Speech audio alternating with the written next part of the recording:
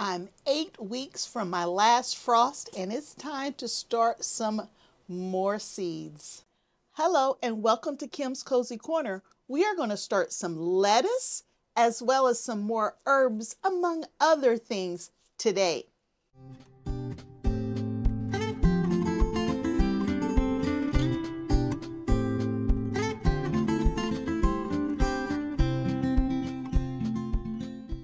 Welcome to Kim's Kozy Korner. I'm Kim, and if you're new here, thank you for stopping by. And if you've been here before, thanks for coming back. Today, we are going to continue starting seeds because we are within eight weeks of our last frost date, which means that I need to have all of my cool season crops outdoors in about a month. So my cool season crops can take a light frost. So I want to get them started the end of March, um, 1st of April at the latest so that they can get in the ground and we can enjoy those as early as possible. Now, based on my garden journal, which is my seed starting journal that I like to use, if you're interested in the journal, the link will be in the description below. In this garden journal, I write down when I should plant all of my different vegetables. And according to the schedule that I've put in place in this journal, it says that I need to be starting oregano and parsley now, as well as some kale. And it even talks about I need to start some of my flowers now, some of the ones that have like an 8 to 12 week germination to get them ready to be transplanted. But we're not going to do flowers today. We are going to focus on the herbs, kale, and what's the one other thing? And some lettuce, right? So let's get some more lettuce plants started because I didn't like running out of lettuce. I ran out. I don't ever want to run out again. I have lettuce growing in my indoor grow space. But in about a month, I can put lettuce outdoors because those are cool season crops and they can take a light frost.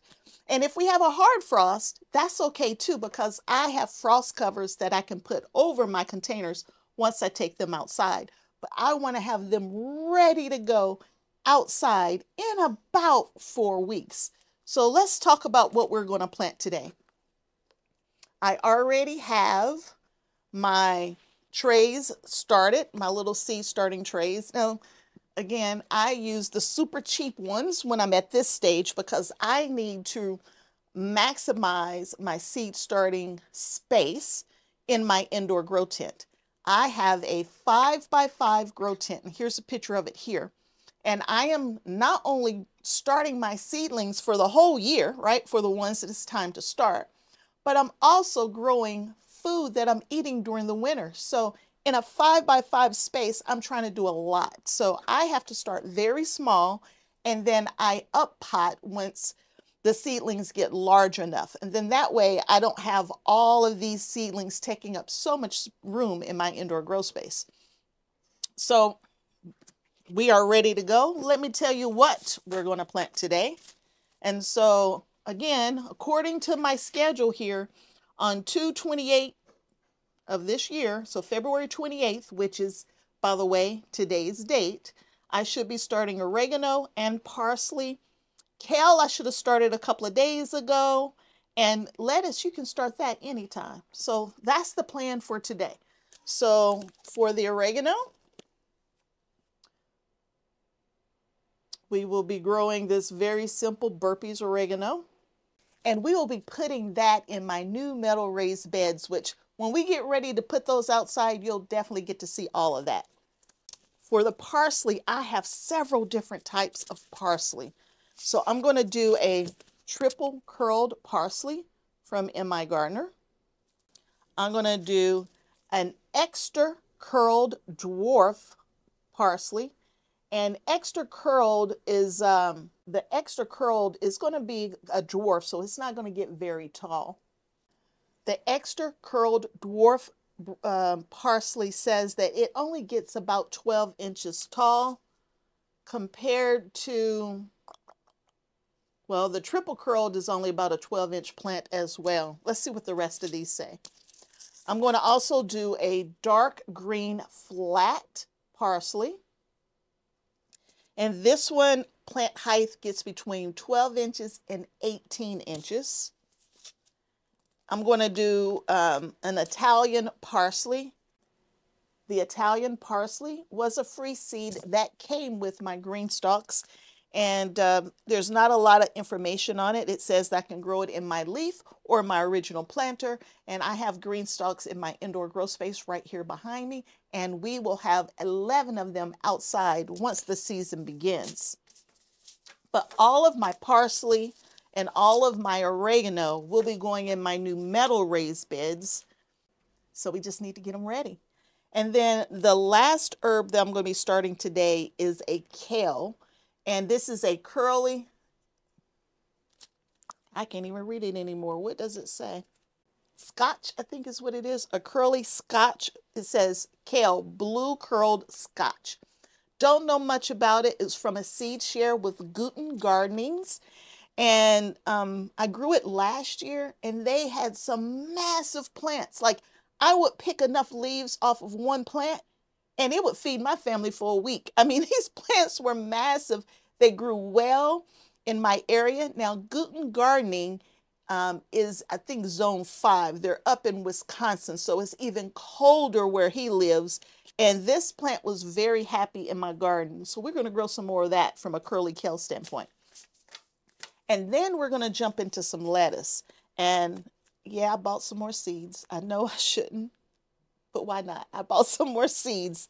And so I am going to do some Old Faithfuls as well as some new seeds. So one of the Old Faithfuls is Merlot, which I love this Merlot. It's a beautiful dark leaf lettuce. Lantus Winter as well, which was also a free seed for me. And it loves the colder weather. So this would be a perfect lettuce to get outside in early spring. And then I will be doing some new things that I've never tried before, which I'm super excited about. And I can't pronounce all of them. I'm not going to pretend like I can. We're going to do Lunix.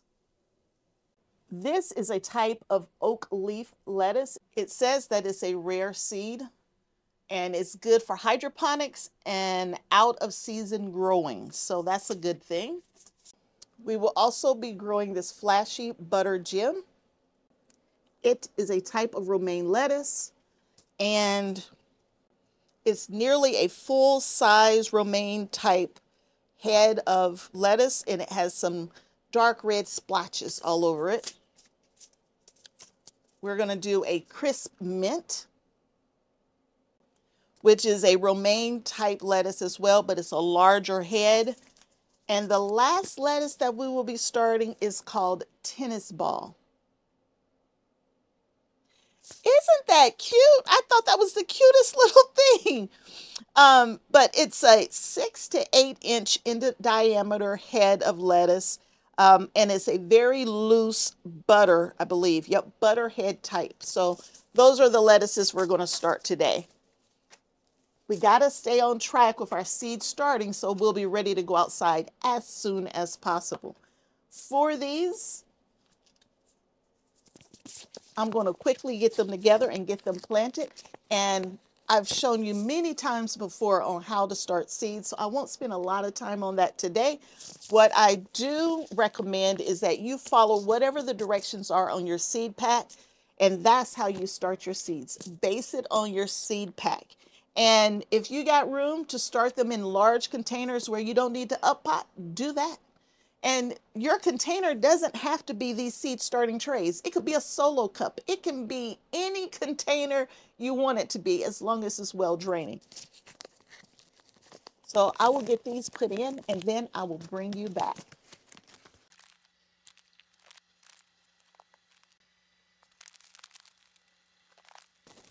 So before I go any further, I do want to talk a little bit about my seed starting mix. I prefer to buy my seed starting mix, but you can but you can make your own if you wish. And so I just use the Jiffy seed starting mix and I use boiling water to sterilize my mix prior to me starting seeds in it. And I sterilize my mix to keep any type of larva from hatching, fungus gnats, all of those type insects that you don't want in your house by sterilizing your soil before you start, you keep that from happening so you won't be overwhelmed by unwanted insects. I talk about it every video, but I know we have new people here, so I just wanted to quickly state you can use your own seed starting mix, you can make your own, you can use potting soil, use whatever you prefer to use, but sterilizing it will keep the insect pressure down.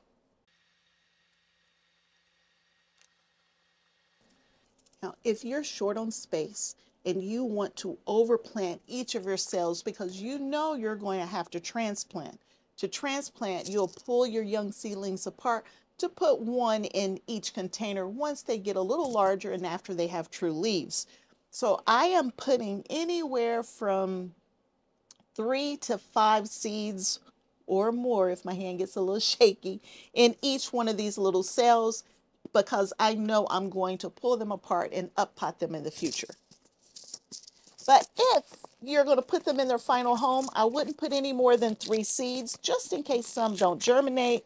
And then you can um, thin them out to one seed per pocket if you're already in the size that you need to be in. They give them plenty of room to grow until it's time for them to be transplanted outdoors.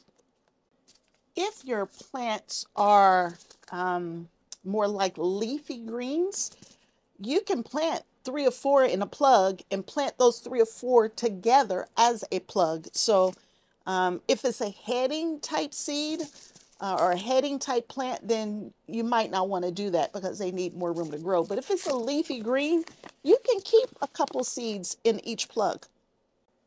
And that's the technique that I will be using for my parsley. Since parsley is kind of more leafy, I will be leaving several of them together in the plug when it's time to get them up potted. Now parsley is by far my favorite herb. There was a time I would have said that that was basil. Not anymore. It's definitely parsley, hence why I'm growing so many different types of parsley.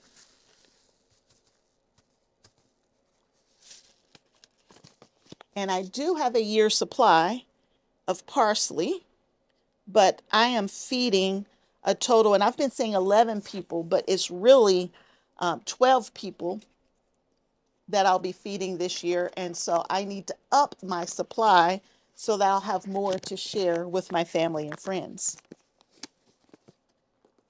So I have all of the seeds in, I have them lightly covered, and I like to just give them a little pat on the top just so they don't fly around. Some of these seeds are so small that, that I barely cover them up according to the directions on the seed pack. So following those directions. And so I want to make sure that they are in there and they are happy because at the end of the day, we want them to come to the party. We always talking about the party. We like to have a vegetable party around here. Now that the seeds are in, we want to make sure that we water them in as well.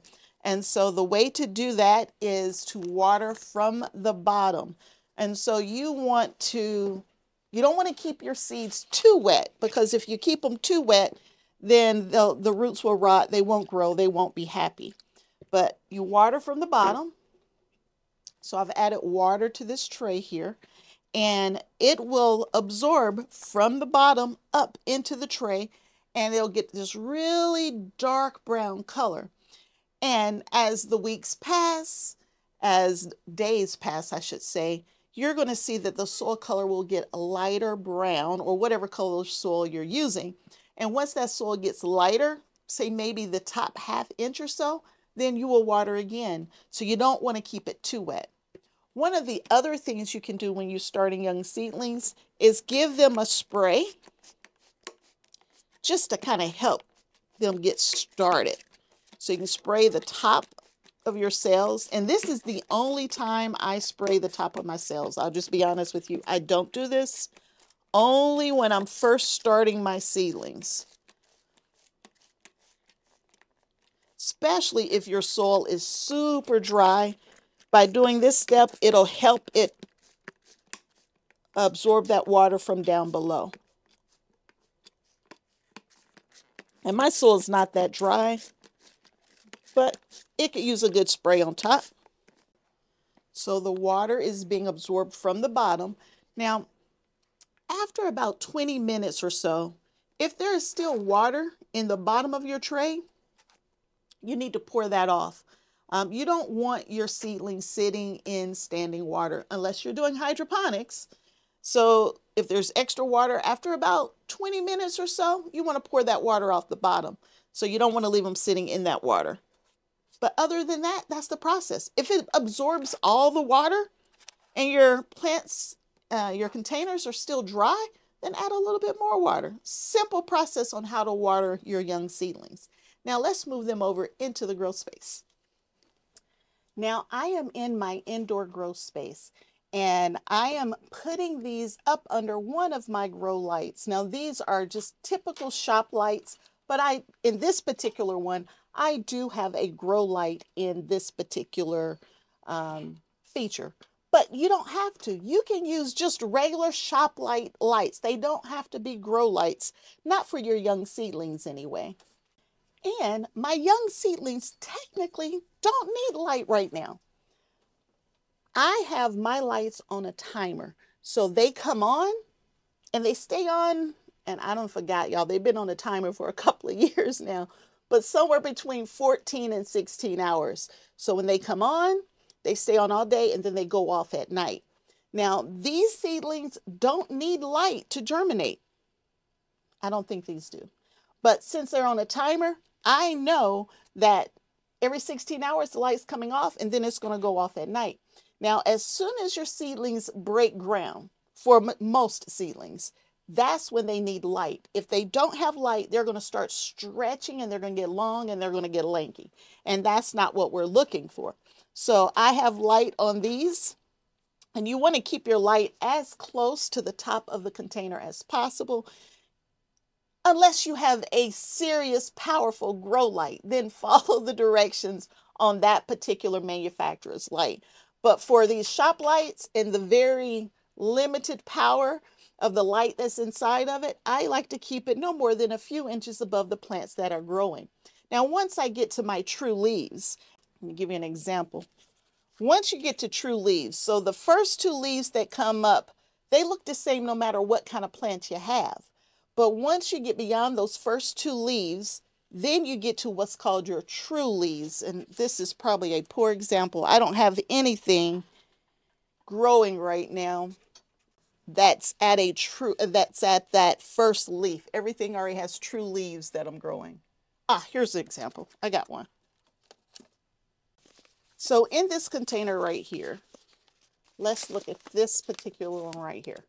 This one right here there are two little baby leaves down low right here that's the first two leaves you see when um, seeds sprout that's the first two those are not true leaves not these first two leaves but then in the center up out the center, there are these two leaves here. Those are true leaves. And once you get to a true leaf, if you are up potting or transplanting into a larger cell, that's when you would do it. Not with the first two leaves, but once you get to the true leaf.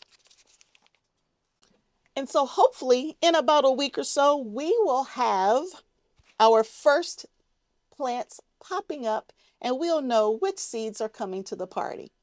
Since I'm here, let me show you how my other seedlings are doing.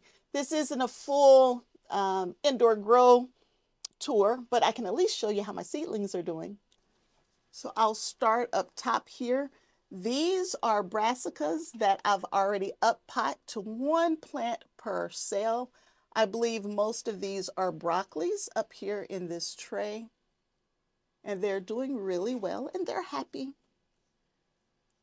This is where we were just looking. This is the one we worked on. Beside it here, I have some plants that have been up potted into their final home before they go out. I like this purple cabbage here. I got some broccoli back there as well. I believe there's some um, golden acre cabbage in here as well. But then I have a few things that I've started that hasn't done really well on germinating yet. Like here's another plant right here. Those are not true leaves, so we're still waiting on true leaves for that Brussels sprout there. And then I have this cell right here that I need to up pot. So we're beyond the true leaves and they're getting thick and full and we need to get these up potted. Down here, I have some Chinese cabbage as well as more brassicas that we need to get transplanted up. I have my first round of herbs in here. So these are rosemary, and I had to plant them twice because we had poor germination. This is sage, I believe. Nope, I'm sorry, that's sweet marjoram. Beside it is sage, thyme, and y'all, here we go with this celery again. I wanted five, I'm up to 20, and they're still coming in. They're still coming in. And celery takes a long time to germinate. So I thought they weren't germinating. I added more celery and now I'm in trouble because I got 50 plants. So I'm going to have to transplant up or pull out. And I don't like to throw anything away.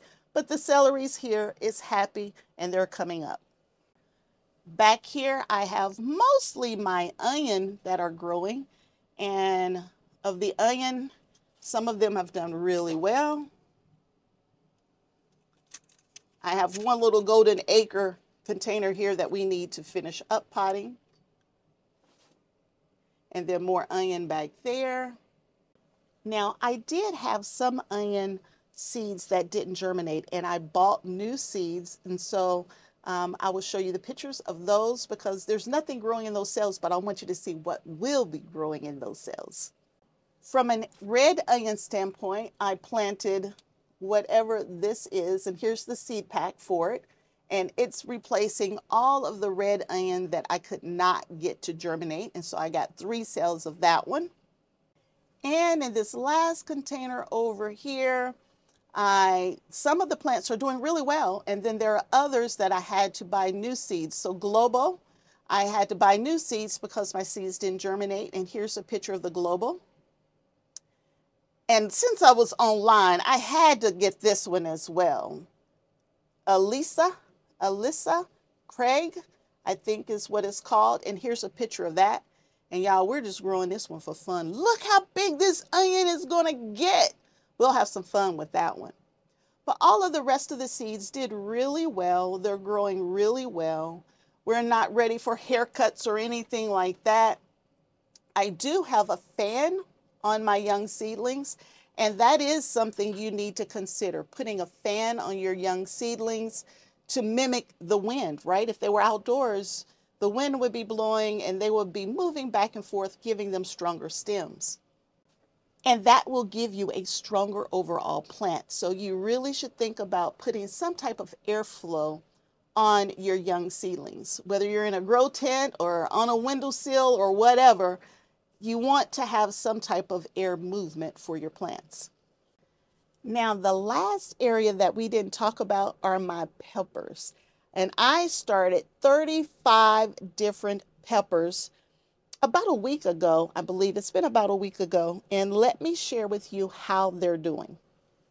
So for the peppers, it's only been about a week. So we're talking about seven days and they are they've germinated. Pretty much every cell has germinated except for a handful. They're happy.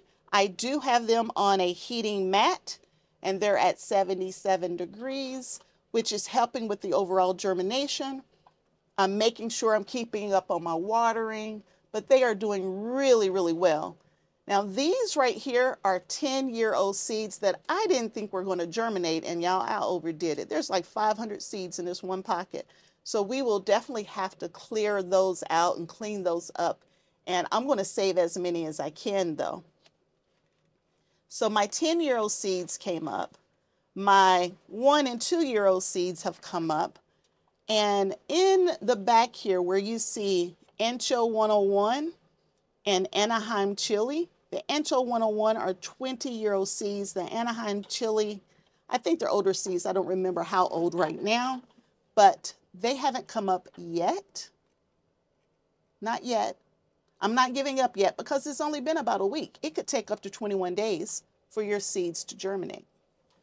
So I will keep you posted on all of the young seedlings on their journey before they move outside into the outdoor growth space. I hope you enjoyed the video. If you did, give me a thumbs up. Consider subscribing to the channel and you'll be able to see everything that's going on and turn on notifications because I'm posting every two or three days. And if you're planting around the same time that I'm planting, at least you'll be able to know when it's time to plant, plant something new.